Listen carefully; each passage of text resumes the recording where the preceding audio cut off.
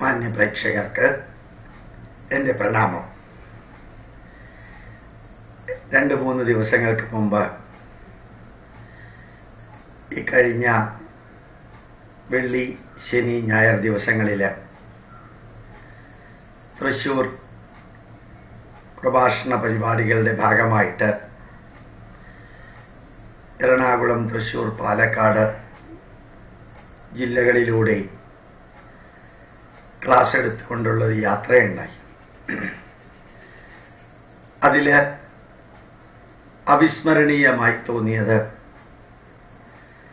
Palakkad town ഹാളിൽ രണ്ട് ദിവസമായി നടന്ന പാലക്കാട് എൻ ആർ ഐ അസോസിയേഷന്റെ പാലക്കാട് ജില്ലയ്ക്കകത്തുള്ള വിദേശത്ത് പ്രവർത്തിക്കുന്ന വിവിധ തലങ്ങളിലുള്ള വ്യക്തികളുടെ സംരംഭമായ പാലക്കാട് എൻ ആർ ഐ അസോസിയേഷന്റെ മീറ്റിങ്ങിൽ വൈകുന്നേരം ഏഴ് മണിക്ക് ഒരു മണിക്കൂർ നേരം ഒരു സന്ദേശം കൊടുക്കാനുള്ള ഒരു ഭാഗ്യം കിട്ടി. അതൊരു അവിസ്മരണീയമായ അനുഭവമായി തോന്നി. യഥാർത്ഥത്തിൽ ആ മീറ്റിംഗിൽ പങ്കെടുത്ത കുറച്ചു പേർക്ക് മാത്രമേ എന്നെ പരിചയമുണ്ടായിരുന്നുള്ളൂ. ഡോക്ടർ മോഹൻ നായർ എന്നോട് അപ്രകാരം ഒരു മീറ്റിംഗിൽ വരണമെന്നും സന്ദേശം കൊടുക്കണമെന്നും പറഞ്ഞപ്പോൾ ഒരു ചെറിയ തലത്തിലുള്ള സംശയമെങ്കിലും എനിക്ക് തോന്നിയിരുന്നു.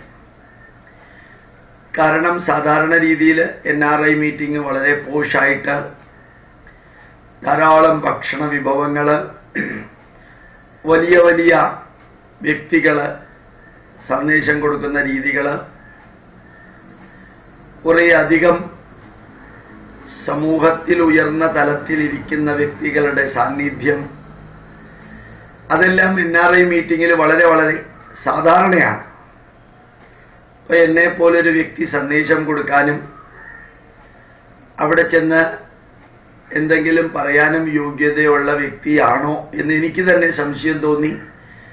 പ്രത്യേകിച്ച് ഞാൻ പൈതൃക ആശയങ്ങളാണ് പറയാറുള്ളത് എൻ ആർ ഐക്കാർക്കെല്ലാം ആധുനിക ആശയങ്ങളോടും ആധുനിക സാധനങ്ങളോടും ആധുനിക ചിന്താധാരകളോടുമാണ് കൂടുതൽ പ്രാമുഖ്യവും താല്പര്യവുമുള്ളത് ഏതായാലും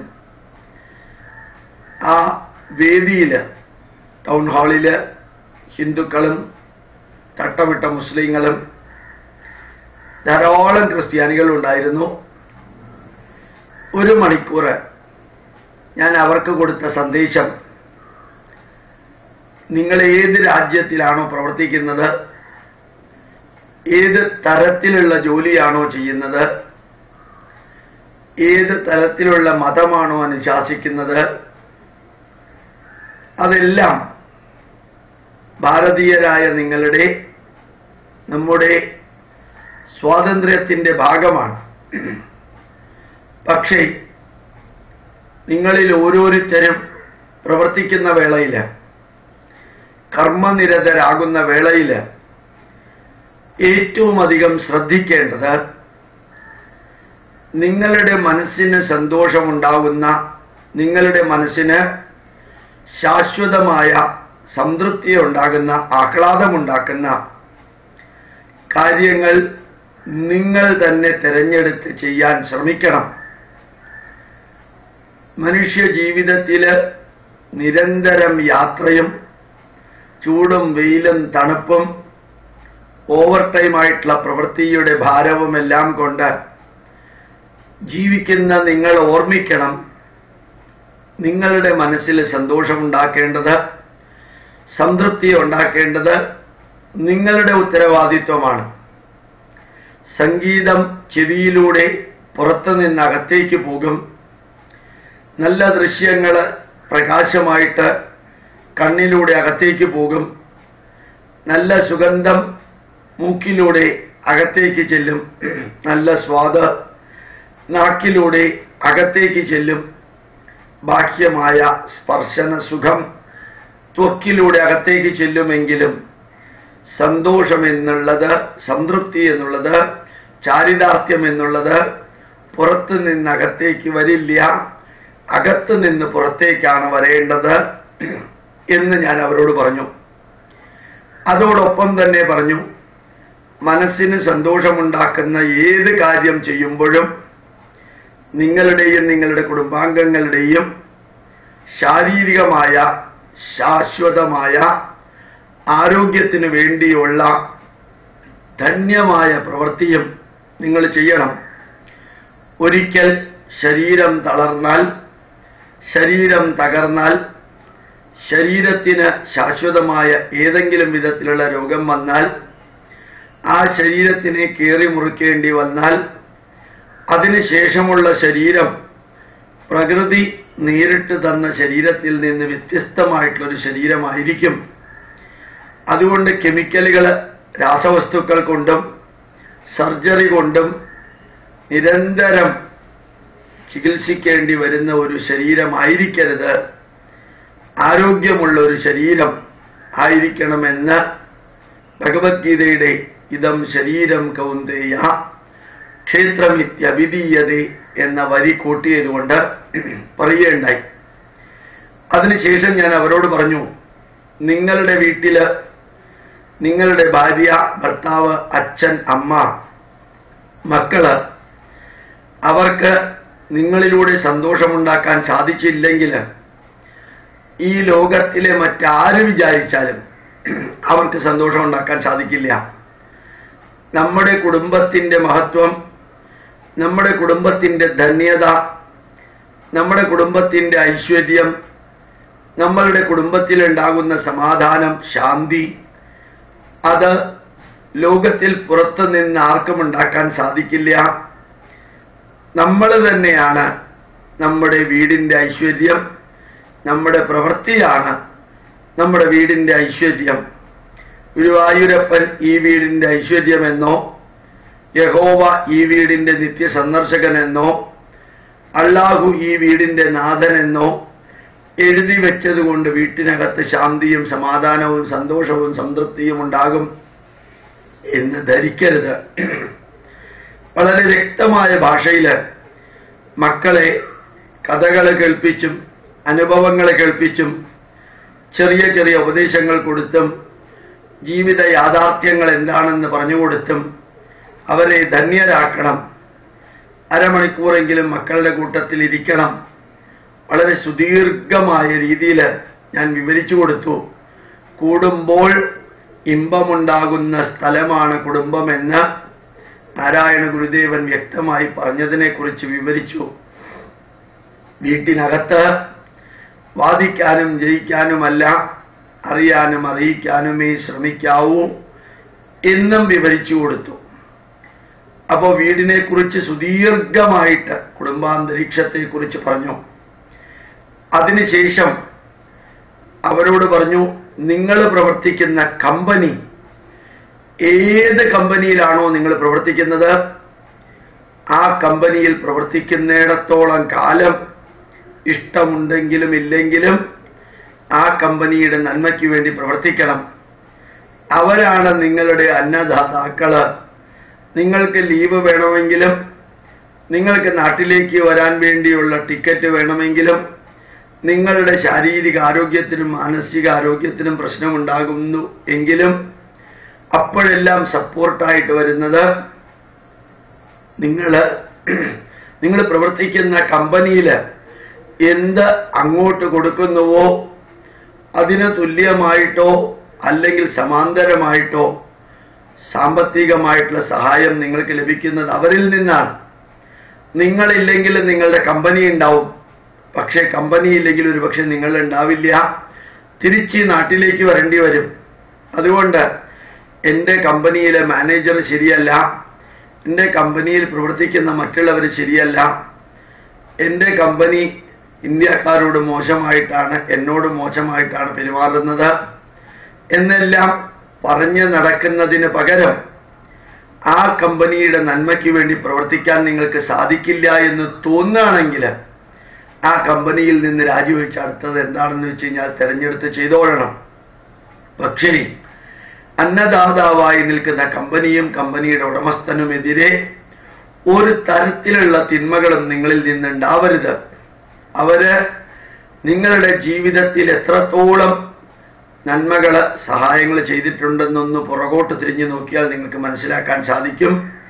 അതുകൊണ്ട് നിങ്ങളുടെ മനസ്സിന് നന്മ വരുത്തുന്ന കാര്യങ്ങൾ സ്വയം ചെയ്യാൻ പഠിക്കണം. ശരീരത്തിന് ആരോഗ്യം ഉണ്ടാക്കുന്ന കാര്യങ്ങൾ എന്തെല്ലാമാണെന്ന് തിരിച്ചറിഞ്ഞ് ഇപ്പോ അതിനെതിരായിട്ട് എന്തെല്ലാം ചെയ്യുന്നുണ്ടെങ്കിൽ അതെല്ലാം മാറ്റിയിട്ട് ധന്യമായ ശരീരത്തെ ധന്യമാക്കി നിലനിർത്താൻ വേണ്ടി ശ്രമിക്കണം. കുടുംബ ബന്ധത്തെ ദൃഢമാക്കാൻ നിങ്ങൾക്കല്ലാതെ മറ്റൊരാൾക്കും സാധിക്കില്ല. അത് നിങ്ങൾ ഏത് മതത്തിലുള്ളവരാണെങ്കിലും ശരി ധന്യമായൊരു കുടുംബജീവിതത്തിന് തുല്യം മറ്റൊന്നുമില്ല. നിങ്ങൾ ഏത് കമ്പനിയിലാണോ പ്രവർത്തിക്കുന്നത് ആ കമ്പനിയുടെ നന്മയ്ക്ക് വേണ്ടി നിരന്തരം പ്രവർത്തിക്കണം. അതുപോലെ Palakkad N R I association അത് ആധാരമായിട്ട് രണ്ടായിരത്തി ഏഴ് മുതൽക്ക് നിലനിൽക്കുന്നു. ധാരാളം കാര്യങ്ങൾ അവർ ചെയ്യുന്നു. അങ്ങനെ ഒരു സംഘടന ഉള്ളത് കൊണ്ടാണ് നിങ്ങൾക്ക് ഒരുമിച്ച് വരാൻ സാധിച്ചത്. ഒരു കാരണവശാലും ആ സംഘടനയെ തകർക്കുന്നതോ തളർത്തുന്നതോ വരൾച്ചുന്നതോ ആയിട്ടുള്ള ഒന്നും തന്നെ ചെയ്യാൻ നിങ്ങളുടെ ഭാഗത്ത് നിന്നുള്ള ശ്രമം ഉണ്ടാവരുത്. അല്ലെങ്കിൽ നിഷേധാത്മകത ഉണ്ടാവരുത്. നശീകരണ പ്രവർത്തനം ഉണ്ടാവരുത്. എത്രയും ഉജ്ജ്വലമായി ശാന്തമായി ധന്യമായി ഒരു സംഘടന കെട്ടിപ്പടുക്കുക എന്നുള്ളത് വളരെ വളരെ ബുദ്ധിമുട്ടുള്ള കാര്യമാണ്. അതിനെ നശിപ്പിക്കുക എന്നുള്ളത് ഏതാനും മിനിറ്റുകൾ കൊണ്ട് ചെയ്യാൻ സാധിക്കുന്ന കാര്യമാണ്. അതുകൊണ്ട് ആ സംഘടനയെ വളർത്തണം ഉയർത്തണം ഉണർത്തണം ധന്യമായി സഹകരിക്കണം. അഭിപ്രായ വ്യത്യാസങ്ങൾ ഉണ്ടാകുമ്പോൾ പുറത്ത് അതിനു പകരം മറ്റൊരു സംഘടന ഉണ്ടാക്കുന്നതിന് പകരം ഇതിനകത്ത് കുറെ കൂടി ശുദ്ധീകരിച്ച് നന്മ നിറഞ്ഞ രീതിയിൽ പ്രശ്നങ്ങളുണ്ടെങ്കിൽ പരിഹരിച്ച് മുമ്പോട്ട് പോകാനുള്ള ശ്രമം നിങ്ങളുടെ ഭാഗത്തുനിന്നുണ്ടാവണം. അവിടെ കൊണ്ട് തീർന്നില്ല. ഈ ഭാരതത്തിൽ വിവിധ തലത്തിലുള്ള ജനങ്ങൾ വേദനിക്കുന്നവരുണ്ട്. അവരുടെ വേദന നിങ്ങളൊന്ന് അറിയണം. നിങ്ങൾക്ക് ജീവിതത്തിൽ പ്രശ്നങ്ങളുണ്ട് ദുഃഖങ്ങളുണ്ട് ടെൻഷനുണ്ട് അല്ലെങ്കിൽ ആരോഗ്യത്തിന്റെതായിട്ടുള്ള കോട്ടങ്ങളുണ്ട്. എന്നെല്ലാം പറഞ്ഞ് നിങ്ങൾ നിങ്ങളെ തന്നെ അടിച്ചമർത്തുമ്പോൾ ഇടിച്ചു താഴ്ത്തുമ്പോൾ മറ്റുള്ളവരുടെ വേദന കൂടി അറിയാൻ ഒന്ന് ഇറങ്ങി പുറപ്പെടണം. വേദനിക്കുന്നവരുണ്ട്. അവരുടെ വേദന എന്താണെന്ന് തിരിച്ചറിയാനുള്ള ചെവിയും കണ്ണും മനസ്സും നിങ്ങൾക്കുണ്ടെങ്കിൽ നിങ്ങളുടെ വേദന അവരുടെ വേദനയേക്കാൾ എത്രയോ എത്രയോ എത്രയോ ചെറുതാണെന്ന് വ്യക്തമായ ബോധ്യം വരുമ്പോൾ ആ വേദന താനെ ഇല്ലാതെയാകും. വിശക്കുന്നവരുണ്ട്. പണ്ഡിതരോ അല്ലെങ്കിൽ പണക്കാരോ അല്ലെങ്കിൽ ഉയർന്നവരോ നല്ല വിദ്യാഭ്യാസമുള്ളവരോ ആയ വീട്ടിൽ ജനിക്കുന്നവരുടെ മക്കൾക്ക് നല്ല രീതിയിൽ വിവാഹം കഴിച്ചു കൊടുക്കുമ്പോൾ കോടികളുടെ ദൂർത്തടിച്ച് വിവാഹം കഴിച്ചു കൊടുക്കുമ്പോൾ ആ വിവാഹം കഴിഞ്ഞ് എച്ചിലല പുറത്തിടുമ്പോൾ ആ എച്ചിലലയിൽ നിന്ന് പട്ടികളോടൊപ്പം ഭക്ഷണം കഴിക്കുന്നവർ ഇന്നും കേരളത്തിലുണ്ട്. ദൈവത്തിന്റെ സ്വന്തം നാട്ടിൽ വേദനിക്കുന്നവരുണ്ട്. വിശക്കുന്നവരുണ്ട്. ഏതോ സ്ത്രീയുടെയോ പുരുഷന്റെയോ വികാരത്തിമർപ്പിൽ അവർ ഒരു കുട്ടിക്ക് ജന്മം നൽകി അമ്മ തൊട്ടിലിലോ അനാഥാലയത്തിലോ റോട്ടിലെ കുപ്പയിലോ ഇട്ടേച്ചു പോകുന്ന സ്ത്രീ പുരുഷന്മാരുടെ മക്കൾ അമ്മയുടെ തലോടലേൽക്കാൻ അച്ഛന്റെ മടിയിലിരിക്കാൻ കൊതിക്കുന്ന അനാഥരുണ്ട് അനാഥാലയങ്ങളിലെ കേരളത്തിൽ. പലരുടെയും നന്മ നിറഞ്ഞ മനസ്സുകൊണ്ട് അച്ഛന്റെയും അമ്മയുടെയും തലോടലേൽക്കാൻ പറ്റാതെ വേദനിക്കുന്ന അവർക്ക് വേണ്ടി കൂടി നിങ്ങൾ ജീവിക്കണം. വേദനിക്കുന്നവർക്ക് വേണ്ടി ജീവിക്കണം. അനാഥർക്ക് വേണ്ടി ജീവിക്കണം. വിശക്കുന്നവർക്ക് വേണ്ടി ജീവിക്കുന്ന ജീവിക്കണം. രോഗികൾക്ക് വേണ്ടി ജീവിക്കണം. ഒരു ദിവ നേരത്തെ മരുന്ന് മേടിക്കാൻ പറ്റാതെ കരയുന്ന വേദനിക്കുന്ന വിശക്കുന്ന വ്യക്തികളുണ്ട്. ധാരാളം പേര് രോഗികളായിട്ട് മകനെയും മകളെയും മടിയിൽ വെച്ച് ആ രോഗത്തിന്റെ മൂർച്ചയിൽ ഒന്നും ചെയ്യാൻ സാധിക്കാതെ കരയുന്ന അമ്മമാരും പിതാക്കന്മാരും കേരളത്തിൽ ധാരാളമുണ്ട്. അവരെ കൂടി ഒന്ന് ഓർത്താൽ നിങ്ങളുടെ വീട്ടിലെ പ്രശ്നം എന്താണ്? അല്ലെങ്കിൽ നിങ്ങളുടെ വേദന എന്താണ്? ദുഃഖം എന്താണെന്ന് തിരിച്ചറിയണമെങ്കിൽ മറ്റുള്ളവരുടെ രോഗത്തിന്റെ വേദനയുടെ അനാഥത്വത്തിന്റെ വാർദ്ധക്യത്തിന്റെ വില വേദന ദുഃഖം അത് നിങ്ങൾ അറിയാൻ ശ്രമിക്കണം. കാശല്ല ജീവിതത്തെ എല്ലാം ആക്കുന്നത്. അല്ലെങ്കിൽ വളരെ ഉയർന്ന ഒരു പദവി ജോലിയിൽ കിട്ടിയത് കൊണ്ട് എല്ലാം എല്ലാം ആവില്ല. ഈ ഇമ്മാനുവൽ എന്ന സിനിമയിൽ അവസാനം ഇമ്മാനുവലായിട്ട് അഭിനയിക്കുന്ന മമ്മൂട്ടി അൻപത് ലക്ഷം രൂപയുടെ ചെക്ക് ഇൻഷുറൻസ് കമ്പനിയുടെ മാനേജർക്ക് കൊടുത്ത് പറയുന്നുണ്ട്.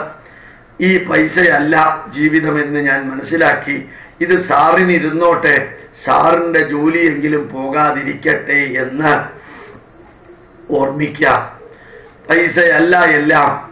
സുഖസമൃദ്ധമായ ഒരു വീട്ടിൽ താമസിക്കുകയോ ഉറങ്ങുകയോ ചെയ്യുന്നതല്ല ജീവിതം.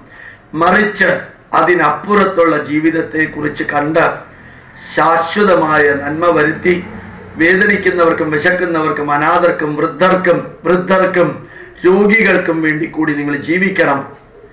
ഇത് ഞാൻ ആഹ്വാനം ചെയ്തു. നിങ്ങൾ ലോകത്തിലെ ഏത് രാഷ്ട്രത്തിലാണെങ്കിലും ആ രാഷ്ട്രം നിങ്ങളുടെ കർമ്മഭൂമിയാണ്. ആ രാഷ്ട്രത്തിന് വേണ്ടി പ്രവർത്തിക്കാനുള്ള ഒരു മനസ്സ് നിങ്ങൾക്ക് ഉണ്ടാവണം. ആ രാജ്യം ശത്രു രാജ്യത്തെ പോലെ കാണരുത്. നിങ്ങൾ പാകിസ്ഥാനിലാണ് പ്രവർത്തിക്കുന്നതെങ്കിൽ പാകിസ്ഥാന്റെ നന്മയ്ക്ക് വേണ്ടി പ്രവർത്തിക്കാനുള്ള ഒരു മനസ്സ് നിങ്ങൾക്ക് ഉണ്ടാവണം. കാരണം അവിടെ നിന്നാണ് നിങ്ങൾക്ക് വിശപ്പ് മാറാനുള്ള ശമ്പളം ലഭിക്കുന്നത്. കർമ്മഭൂമി ഒരു കാരണവശാലും ഇടിച്ചു താഴ്ത്തുകയോ അവഹേളിക്കുകയോ ചെയ്യരുത്. അതേപോലെ തന്നെ ഈ ഭാരതത്തിൽ ദാരിദ്ര്യം അനുഭവിക്കുന്നവരുണ്ടാവാം. നൂറ് രാഷ്ട്രീയ പാർട്ടികൾ ഉണ്ടാവാം. പലതരത്തിലുള്ള അഭിപ്രായമുള്ളവരുണ്ടാവാം. ഈ നാടിനോട് തന്നെ പുച്ഛമുള്ളവരുണ്ടാവാം. പക്ഷേ ഈ നാട്ടിൽ നിന്ന് പുറത്തുപോയി ഉപജീവനത്തിന് വേണ്ടി ജോലി ചെയ്യുന്ന നിങ്ങളുടെ നാവിൽ നിന്ന് അറിയാതെ പോലും പരമപവിത്രമായ ഭാരതത്തെ ഇടിച്ചു താഴ്ത്തുകയോ അവഹേളിക്കുകയോ ചെയ്യുന്നൊരു വാക്കുണ്ടാവരുത്. നിങ്ങൾ ധൈര്യമായിട്ട് പറയുക ദുബായിൽ നല്ല റോഡുകളാണുള്ളത് അമേരിക്കയിൽ നല്ല അടുക്കും ചിട്ടയുമുള്ള ഭരണമാണ് ഉള്ളത് അല്ലെങ്കിൽ സൗദി അറേബ്യ വളർന്നു വികസിക്കുന്ന രാജ്യമാണ്. ഒരു വിഷമവുമില്ലാതെ ആ രാജ്യത്തെ പുകഴ്ത്തിക്കൊള്ളുക. പക്ഷേ ദുബായിൽ നല്ല റോഡുകളാണ് ഉള്ളത്. ഇന്ത്യയെ പോലെ അല്ല. സൗദി അറേബ്യ വിടർന്ന് വിളർന്ന് പന്തലിക്കുന്ന രാജ്യമാണ് നമ്മളുടെ രാജ്യത്തെ പോലെ നെഗറ്റീവ് അല്ല അവിടെ ഉള്ളത്. എന്ന് നമ്മുടെ രാജ്യത്തിൽ നിന്ന് ജനനം ലഭിച്ച് ഇവിടെ പഠിച്ച് ഇവിടെ വളർന്ന് ഇവിടെ നിന്ന് വിദേശത്തേക്ക് പോയ നിങ്ങൾ ഇടയ്ക്കിടയ്ക്ക് വന്ന് ഇവിടെ ജനിച്ച് ഇവിടെ വളർന്ന് ഇവിടെ ഇവിടെ മരിക്കുന്ന നിങ്ങൾ ഈ ജനിച്ച് മരിക്കുന്ന ഈ ഭൂമിയെക്കുറിച്ച് വിദേശ മണ്ണിൽ പോയിട്ട് അവഹേളിക്കുന്ന രീതിയിലൊന്നും പറയരുത്.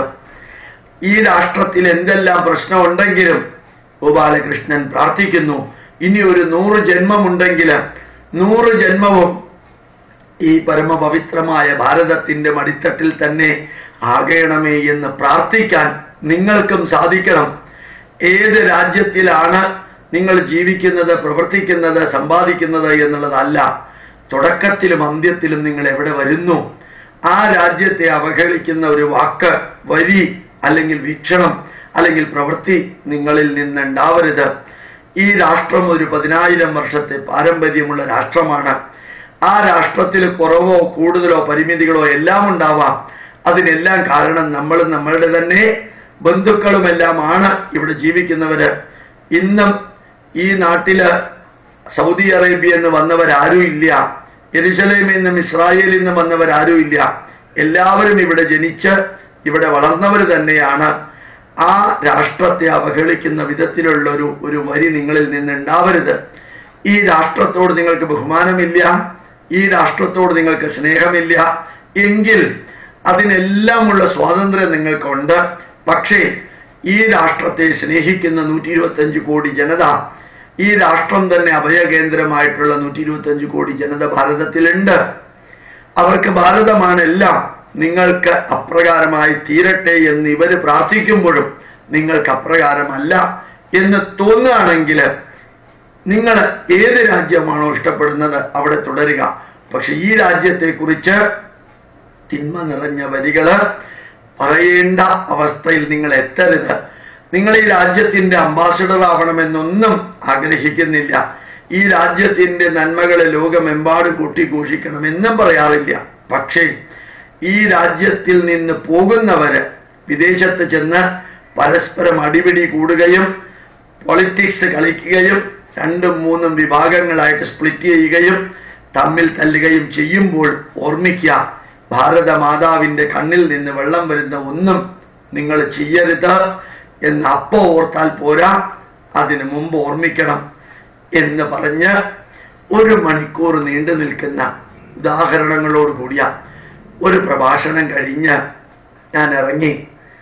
ഇറങ്ങിയ വേളയിൽ പാലക്കാട് ടൗൺ ഹാളിൽ നിറഞ്ഞിരുന്ന സദസ്സ് എഴുന്നേറ്റ് നിന്ന് കൈയടിച്ച ആ കാഴ്ച ജന്മ ജന്മജന്മാന്തരത്തിൽ മറക്കില്ല. അത്രയും ധന്യമായിരുന്നു. അത്രയും ധന്യമായ ഒരു ഒരു ദൃശ്യം ഗോപാലകൃഷ്ണന് കാണാൻ സാധിച്ചു. ഇന്ത്യയ്ക്ക് വെളിയിൽ പോയി. ഇന്ത്യക്കാരായി ജീവിക്കുമ്പോൾ അവർ ഇന്ത്യൻ രക്തമുള്ളവരാണെന്ന് അവരോട് പറഞ്ഞു കൊടുക്കാൻ ഇന്ന് വരെ ആരും ഉണ്ടായിരുന്നില്ല.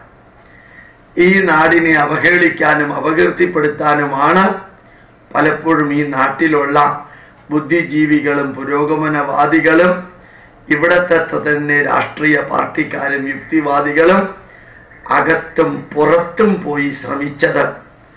പക്ഷേ നിറഞ്ഞ ഹൃദയത്തോടുകൂടി ഞാൻ ജീവിതത്തിൽ പകർത്തിയതും അവരോട് ജീവിതത്തിൽ പകർത്തണമെന്ന് അഭ്യർത്ഥിച്ചതുമായ കാര്യങ്ങൾ അവർ കേട്ടപ്പോൾ അവരുടെ മനസ്സിലെ വികാരം എഴുന്നേറ്റ് നിന്ന് ഏതാനും മിനിറ്റുകൾ കൈയടിച്ചപ്പോൾ അല്ലെങ്കിൽ തൊഴുകയോടെ നിന്നപ്പോൾ അതിനുശേഷം ഒത്തിരി പേര് ഒത്തിരി പേര് അടുത്ത് വന്ന് തൊഴുതു നിന്നപ്പോൾ അതിനകത്ത് ധാരാളം ക്രിസ്ത്യാനികൾ ഉണ്ടായിരുന്നു സെബാസ്റ്റ്യൻ ജോൺ പോൾ വർഗീസ്. ഈ പേരുകളെല്ലാം എന്റെ മനസ്സിൽ നിൽക്കാൻ കാരണം സാധാരണ ക്രൈസ്തവ ജനതയ്ക്ക് ഞാൻ പറഞ്ഞത് ഇഷ്ടപ്പെടുവോ ഇല്ലയോ എന്ന് എനിക്ക് അറിഞ്ഞൂടായിരുന്നു കുറച്ച് മുസ്ലിങ്ങൾ തട്ടമിട്ട മുസ്ലിങ്ങൾ അവരുടെ പേര് പറഞ്ഞ് അവരും അടുത്തു വന്നു. മൂന്ന് വിഭാഗത്തിൽപ്പെട്ടവരുടെ കുട്ടികളെ പറഞ്ഞു. സാറിന്റെ കാൽ തൊട്ട് അനുഗ്രഹം വാങ്ങിക്കാൻ ഞാൻ അവരോട് പറഞ്ഞു ഗോപാലകൃഷ്ണൻ തട്ടുകടയിൽ നിന്ന് ചായയും കുടിച്ച് റോട്ടിലൂടെ നടന്നു പോകുന്ന ആളാണ്. ഞാൻ ഒരു തരത്തിലും കാൽ തൊടുമ്പോൾ തലയിൽ കൈവച്ച് അനുഗ്രഹിക്കാൻ യോഗ്യതയുള്ളവനല്ല. നിങ്ങൾ ഈ രാഷ്ട്രത്തെയും രാഷ്ട്രത്തിന്റെ പൈതൃകത്തെയും മാത്രം മനസ്സിൽ വയ്ക്കുക. ഒരു വ്യക്തിയെയും മനസ്സിൽ വെച്ച് ആരാധിക്കേണ്ട. ഒരു വ്യക്തിയുടെയും നിർദ്ദേശം നിങ്ങൾ കേട്ട് വിശകലനം ചെയ്ത് നിങ്ങൾക്ക് യോജിക്കുന്ന വിധത്തിൽ നിങ്ങളുടെ ജീവിതത്തിൽ പകർത്തുകയല്ലാതെ പറഞ്ഞു തന്ന വ്യക്തിയെ ആരാധിക്കേണ്ട. ഇത് കഴിഞ്ഞപ്പോൾ എന്റെ അടുത്ത് ഡോക്ടർ മോഹൻ നായർ പറഞ്ഞു സർ പ്യുവർ വെജിറ്റേറിയൻ ഭക്ഷണമാണ്. ഭക്ഷണം കഴിച്ചിട്ടേ പോകാവൂ. അതുകൂടി കേട്ടപ്പോൾ സത്യത്തിൽ എന്റെ കണ്ണിൽ നിന്ന് വെള്ളം വെള്ളം വന്നു എന്നുള്ളൊരു വലിയ സത്യം. കാരണം എൻ ആർ ഐ മീറ്റിങ്ങിൽ എല്ലാ കലാപരിപാടികളും സാധാരണഗതിയിൽ വിചിത്രമായിട്ടുള്ള സിനിമാറ്റിക് ഡാൻസുകളും മിമിക്സ് പരേഡുകളും അതൊന്നും തെറ്റാണെന്നല്ല ഗോപാലകൃഷ്ണൻ ഞാൻ പറഞ്ഞത്. അതെല്ലാമാണ് ഹോഷ് പോഷിലൂടെ അടിച്ചു പൊളിച്ച ആഡംബരത്തിന്റെ കത്തിക്കാളുന്ന ചിലവുകളും എല്ലാം വരുത്തി തീർത്ത് ഒരാഘോഷം രണ്ട് ദിവസം നടത്തുന്നതിന് പകരം പ്യുവർ വെജിറ്റേറിയൻ ഭക്ഷണമാണ് എന്ന് പറഞ്ഞ് സസ്യാഹാരം കൊടുക്കാൻ വരുന്നവർക്ക് മൂന്ന് മതത്തിലുള്ളവരും അതിൽ തൊണ്ണൂറ്റഞ്ച് ശതമാനവും നോൺ വെജിറ്റേറിയൻ കഴിക്കുന്നവരാവാനാണ് സാധ്യത എന്ന് എനിക്ക് തോന്നുന്നു. അവർക്ക് വെജിറ്റേറിയൻ ഭക്ഷണം കൊടുത്ത് നമ്മുടെ നാടിന്റെ കലാപരമായ കാര്യങ്ങൾ സാംസ്കാരികമായ കാര്യങ്ങൾ അല്പം പോലും വ്യതിചലിക്കാതെ സ്യൂഡോ സെക്കുലറിസത്തിന് വേണ്ടി ചില കോപ്രായങ്ങൾ കാണിക്കാതെ ഈ മുസ്ലിമിനെ കൊണ്ടും ക്രിസ്ത്യാനിയെ കൊണ്ടും ഒരു ഹിന്ദുവിനെ കൊണ്ടും ഒരുമിച്ച് വിളക്ക് കത്തിച്ച് നല്ലൊരു പ്രാർത്ഥന പാടി ഭാരതീയമായ ഭൂതപ്പാട്ടും ഭാരതീയമായ നൃത്ത നൃത്യങ്ങളുമെല്ലാം എല്ലാം ധന്യമായ രീതിയിൽ അഭിനയിച്ച് എല്ലാവരെയും പങ്കെടുപ്പിച്ച ആ പാലക്കാട് എൻ ആർ ഐ അസോസിയേഷനിൽ നിന്ന് ഇറങ്ങി വന്നപ്പോൾ തൊഴുകയോടെ പറഞ്ഞു മറ്റെല്ലാ എൻ ആർ ഐ സംഘടനകൾക്കും നിങ്ങളുടെ ഈ എട്ട് വർഷം പ്രായമായ രണ്ടായിരത്തി ഏഴ് രണ്ടായിരത്തി പതിനാല് അത്രയും പ്രായമായ ഈ സംഘടന മാതൃകയായിരിക്കട്ടെ എന്ന് തൊഴുകയോടെ പറഞ്ഞ് ഇറങ്ങിയപ്പോൾ ഒരു വലിയ അനുഭൂതിയാണ് മനസ്സിൽ അനുഭവപ്പെട്ടത്. ദേശം മാറുന്നു. ദേശവാസികൾ മാറുന്നു. നമ്മുടെ രാഷ്ട്രം തിരിച്ച് നന്മയിലേക്ക് പോകുന്നു. ഇടക്കാലത്ത് ഇടിച്ചു കയറിയ സംസ്കാരശൂന്യമായ സംസ്കാരമല്ല ഭാരതത്തിന്റെതെന്നും മറിച്ച് നന്മ നിറഞ്ഞതാണ് ഭാരതത്തിന്റെ പ്രതീകമെന്നും തെളിയിക്കാൻ പറ്റുന്ന വിധത്തിൽ സംഘടനകൾ വാക്കിലും വീക്ഷണത്തിലും പ്രവൃത്തിയിലുമെല്ലാം ഭാരതീയരായി മാറുന്നൊരു കാഴ്ച. അത്ഭുതവും സന്തോഷകരവുമായി തോന്നി. ആ പാലക്കാട് എൻ ആർ ഐ അസോസിയേഷന്റെ മാതൃക. മറ്റ് എൻ ആർ ഐ അസോസിയേഷനുകളും ഇന്ത്യക്കകത്തും പുറത്തും ജീവിതത്തിൽ പ്രാവർത്തികമാക്കട്ടെ എന്ന് പ്രാർത്ഥിച്ചുകൊണ്ട് എല്ലാവർക്കും അപ്രകാരം ഒരു മാർഗനിർദ്ദേശം അവരിൽ നിന്ന് ലഭിക്കട്ടെ എന്ന് ആഗ്രഹിച്ചുകൊണ്ട് നിങ്ങളുടെ മക്കളെ നിങ്ങളുടെ കുടുംബാംഗങ്ങളെ സ്നേഹിക്കാനും അതുപോലെ തന്നെ സംരക്ഷിക്കാനുമുള്ള വലിയൊരു മനസ്സ് ധന്യമായ ജീവിതത്തിലൂടെ നിങ്ങൾക്ക് ഉണ്ടാവട്ടെ എന്ന് പ്രാർത്ഥിച്ചുകൊണ്ട് പ്രണാമം നമസ്കാരം.